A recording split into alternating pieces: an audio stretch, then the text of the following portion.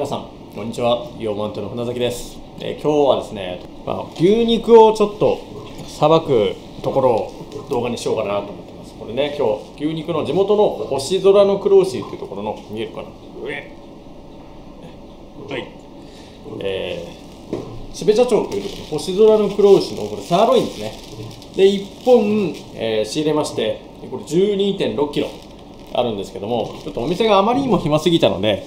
えー牛肉のフェアをやろうかと思って、えサーロイン1本仕入れました。ステーキにしたり煮込みにしたり、まあ、このサーロインっていう1本のこの1 2キロの部分から僕はいろんなこう風に切り分けてね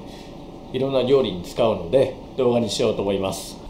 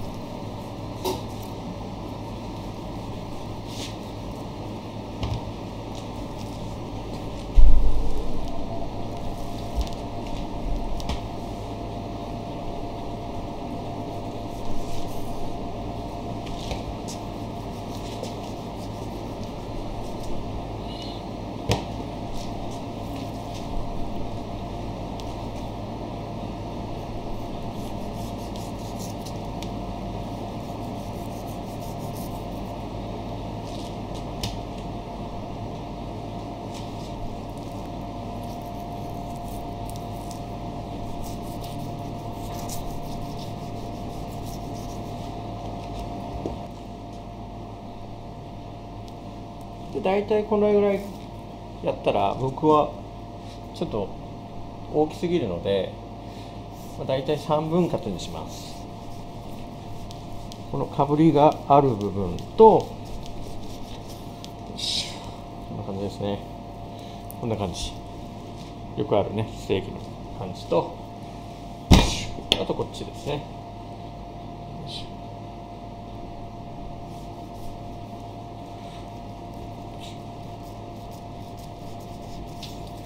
よしこんな感じ。真ん中。真ん中の部分が多分ステーキとして使うんだったら一番使いやすいかなと思います。こういういわゆるサーロインステーキみたいな。こっちのリブ側はどうしてもこう盤が大きくなっちゃうのでこのかぶりの部分があるので普通にステーキとして使うにはちょっとね、えー、やりにくいので後から違う使い方にします。うちの僕の場合はもしサーロインステーキってやるんであれば、えー、この真ん中の部分を使ってサーロインステーキにします。美味しそうですよね。これはまあステーキにします。でまあこっちもステーキに使えるんですけど今これからちょっと、えー、僕なりのやり方をやっていく。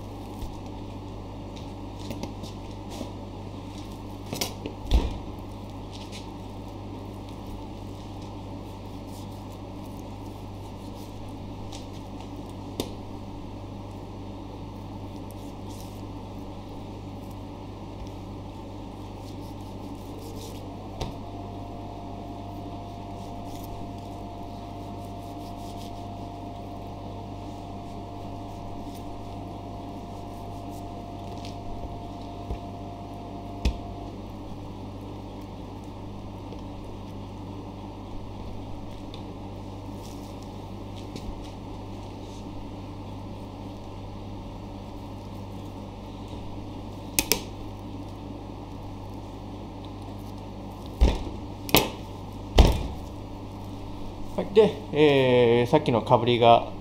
あった部分は全部周りきれいに取っちゃってこのきれいな、えー、ブロックの塊にしてこれはステーキとかロティとかローストとか、えー、の通常のコース料理に使えるようにします。先ほどのあのロースのちょうど真ん中の部分と同じ使い方ですね。たださっきのやつは割今回あのサーロインステーキ、えー、ステーキ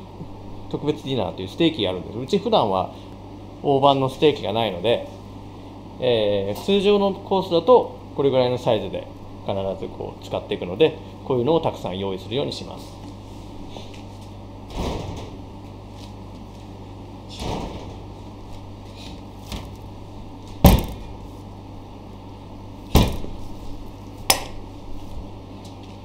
さっきのリブ側じゃない方ですね。こっち側ってこういうちょっと、えー、わかわかるかな？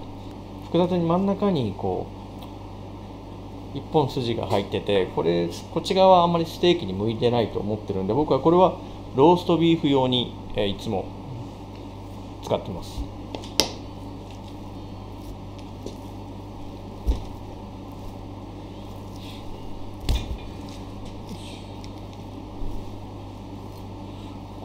ここもちょっとこう後から、外れ部外れやすい部分は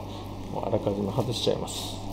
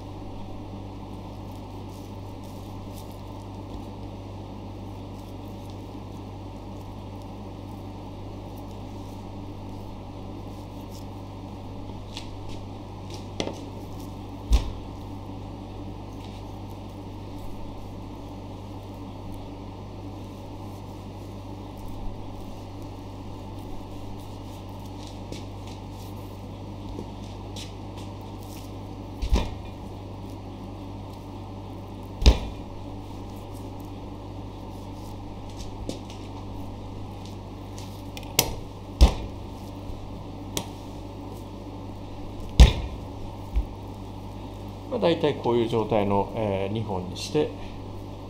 こうか。これはちょっと、えー、筋があるところなのでローストビーフにします。ローストビーフ用ですね。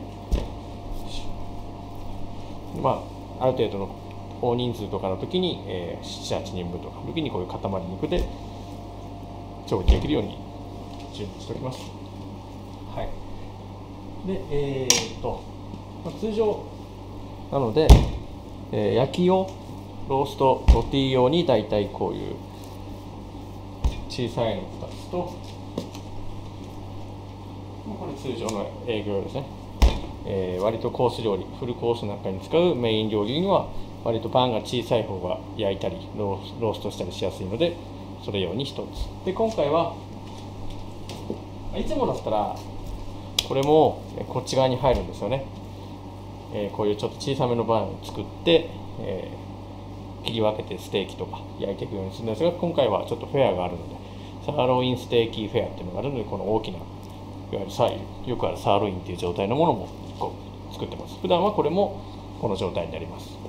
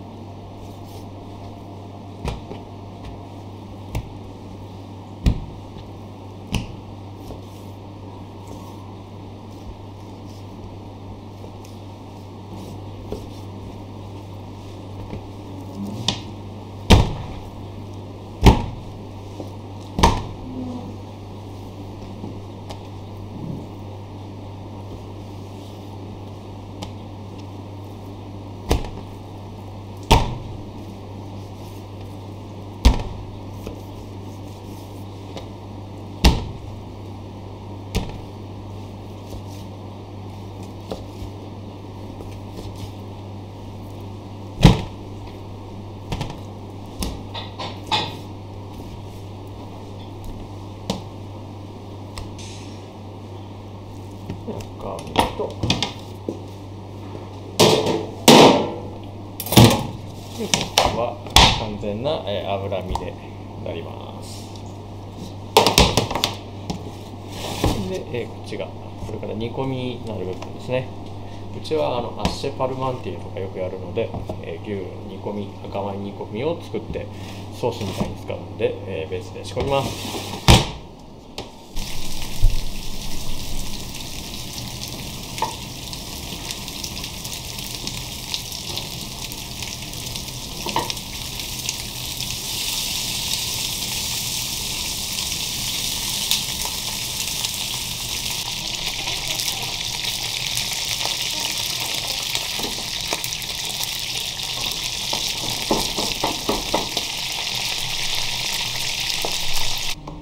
ご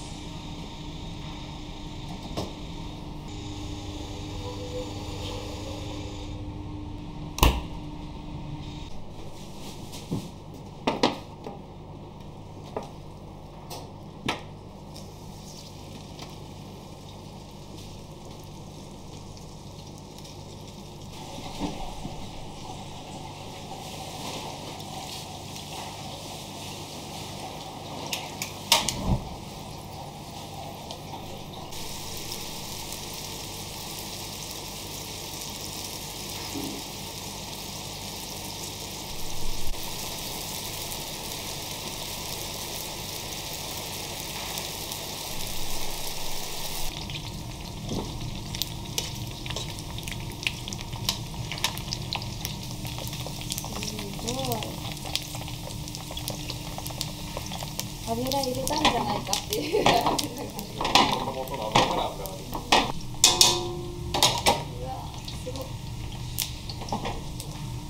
これはそしてよし